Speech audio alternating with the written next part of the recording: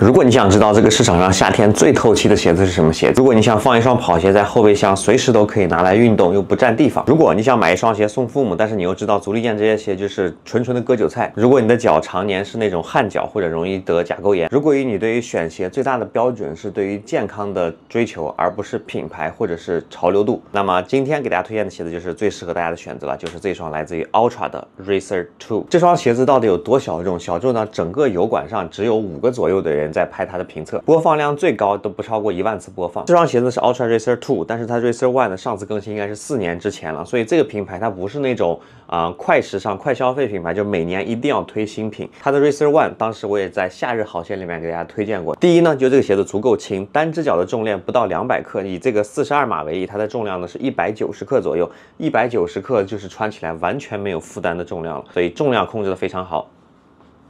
我这个电池还有电没啊？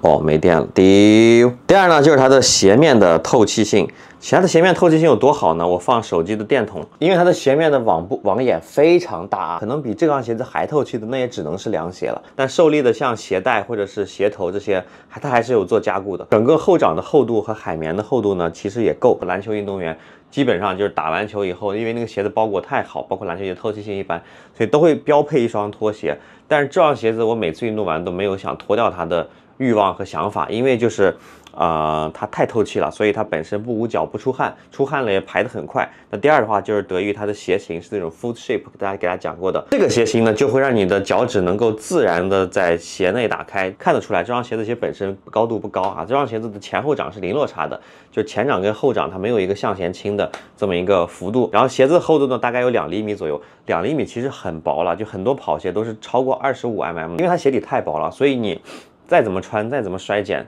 它的高度就那么高，所以不它不会放大你的足内翻或者外翻的这么一个情况。然后呢，这双鞋子的产地是越南，这个牌子的工厂也在越南，所以如果你买这双鞋子的话，发现是在广东东莞发货的，那东莞尤其是后街呢，基本上就是就是国产鞋造鞋的地方啊。如果是那边发货的，大概就是假鞋了。这双鞋子其实是呃假鞋已经存在，就假鞋可能卖的比真鞋还多，就是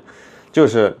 哎，每一个市场劣币驱逐良币的一个一个问题啊，所以大家注意这个发货地点。所以这双鞋的定位其实是五公里至马拉松这个区间段的啊运动爱好者的一个选择。然后鞋底橡胶纹路呢也很接近人自然步态下的抓地效果。我不会在比如说适合给爸爸买什么鞋这种主题上不断的更新啊，就是如果没有鞋子能够超过这双鞋的话，那这个主题就这一集节目就放在这儿一直放着了。因为年纪大老人家或者说是父母辈吧，可能我父母也没有特别大啊。但就他们选鞋的标准呢，就是第一得便宜，然后第二得软啊。他们其实不太在意防滑，就是他们不会考察防滑，或者他们也不太在意运动健康这些东西。而且他们换鞋的频率非常低啊，因为他们的运动量不是很大。所以我觉得，如果你的地方是可以买到这双鞋子的话，你买给他们试试看。他们如果见到周围的相邻的话，应该会非常的自豪啊。因为一方面鞋子是你们你送的啊，再一方面呢，它确实好穿，值得推荐。